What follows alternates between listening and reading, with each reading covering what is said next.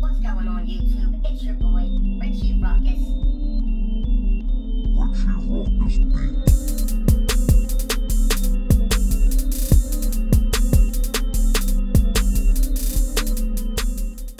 What's going on YouTube? It's your boy, Richie Rukkus. It's Saturday, December 9th. It is snowing here in Philadelphia if you cannot pick up on the background scenery.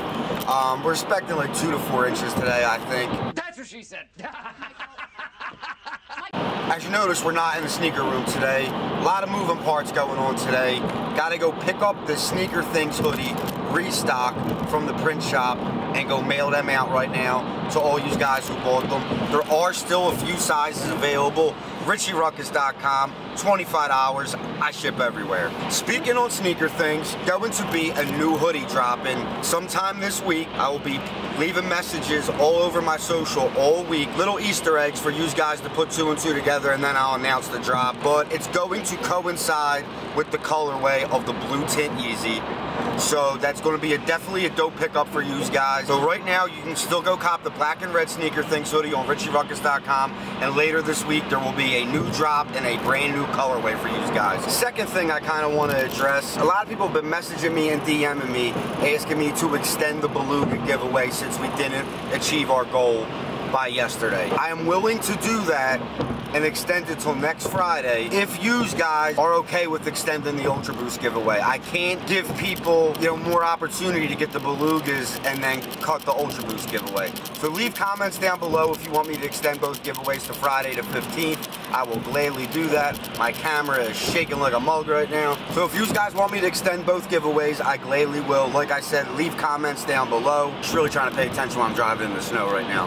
The next topic at hand, and the most important topic at hand, today was a feast for me as far as sneakers. As you guys know, I posted on my so on my Instagram a few days ago uh, with the sneakers app, the Nike Plus unlock. I was able to get the Jordan 11 Win Like 96, all red Jordan 11s early. I was at, you know, one of the Nike Unlock members that was able to get them on Thursday. That made today a lot easier for me.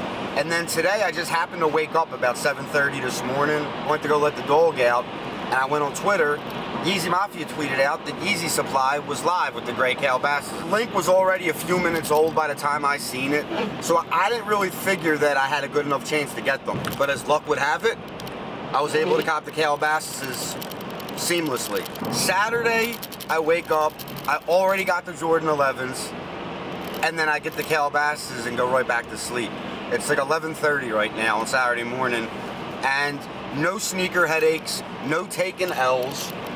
The two biggest sneaker releases of the weekend, I was able to secure and have all copped, everything done by 7.30 this morning, which is a rarity in itself but it makes me want to talk about two important things right now. One, can you imagine just two years ago, because the Space Jams, if you really wanted the Space Jams, you were able to get them. But, you know, if you go back to at least like the past, if you go back like two years ago, getting the, the Jordan, getting the Jordan 11 holiday release was never that easy. There, you know, people have been shot. There's been brawls. There's been riots over the Jordan 11 holiday release. And yo, the fact that it was just so easy for me and many others, and I know right now they're still sitting. I know a few people that just got them on like Finish Line and the sneakers app and everything this morning. And I won like a couple in-store raffles that I didn't find out about until Friday. And at that point, I already ordered them off Nike. So it was kind of pointless for me to go to the in-store raffles. I'm not a reseller. I was thinking about maybe grabbing one to rock, one to stock, because as you guys know, I am a humongous sucker for a red sneaker. But and I decided against it. It's so crazy how sneakers have changed over just the you know just the last few years. You know, it's so hard to get a Jordan 11 holiday release two years ago. I mean, you you literally would have had to jump through hoops. I even remember when the Gammas came out. You know, standing in line, camping out. That was like right before raffle started. You know, around where I'm from, and you know, sitting out there all night early. And I got my size. I was like the second in line. But and that was like the week before Christmas. So like I spent the Saturday before Christmas just sitting in line waiting for these sneakers, and, and that was a good December back then because they re, they re-released the bread ones that year, and they did the Gamma 11s in the same month, and it was just a very very bountiful, fruitful month if you were a sneakerhead.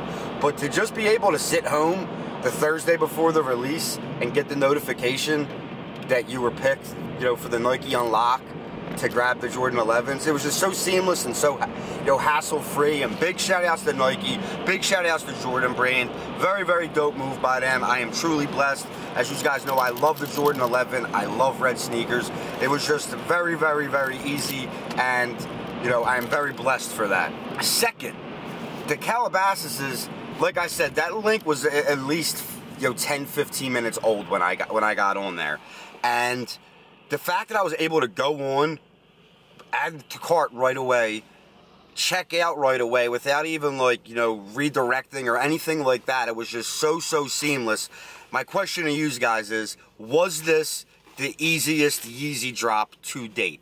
Leave comments down below. Let me know what you guys think. I for sure think it was the easiest. The only other Yeezy I was I had this seamless of a transaction with would have been the Wave Runners because they sat for, you know, like three hours.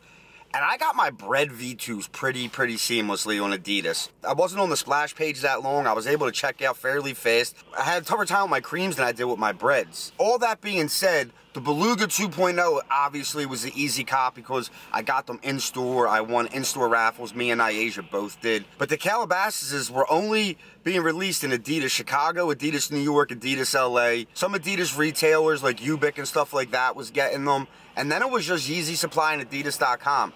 So I thought it was very, very dope and very, very easy transaction. So like I said, guys, leave comments down below. Let me know if you guys thought it was the easiest, the easy drop to date. I'm gonna go pick up these hoodies, mail these hoodies out to you guys that have ordered them. But until tomorrow, I'm Richie Rukkus. Peace. Holla. Richie Rukkus